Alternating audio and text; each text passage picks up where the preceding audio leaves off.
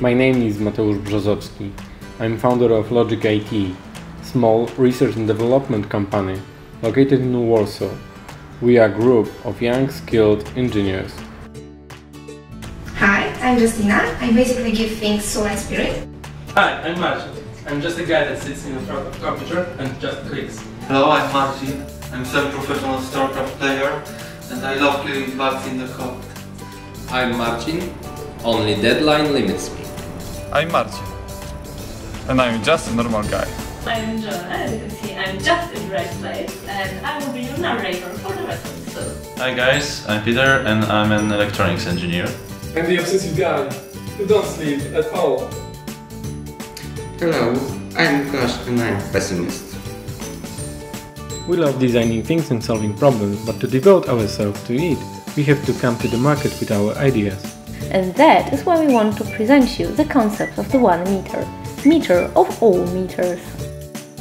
First, there was the idea of e-meter. Do not confuse it with the Scientology device, though it also gives us a lot of spirit. We wanted to create a device compatible with different utility meters already existing in buildings and those to come in the nearest future. Our first device was ugly wired, then the concept evolved. Now we have a prototype communicating for readout data with multiple kinds of meters by wireless open metering system.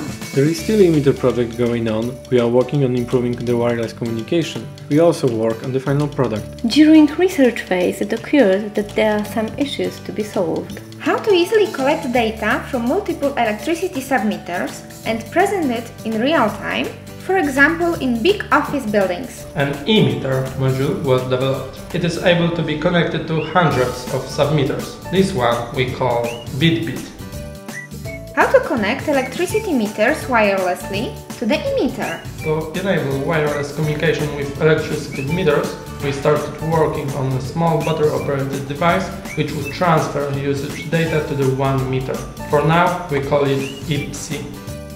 How to easily control water flow for many purposes. Prepaid sales systems, reducing the flow for detours, prevention against flooding, and plant watering systems.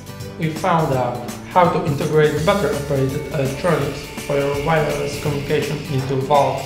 This solution will allow to perform thousands of open-close cycles. We call this one valve. How to make a user-friendly interface for that? We want all these to be user-friendly, so we are creating a web app, also for smartphones and tablet devices. It's based on HTML5. So, the simple project split into multiple bigger, and we call it the OneMeter. Now we are looking for fundings and professional help in turning our prototypes into ready to be sold products.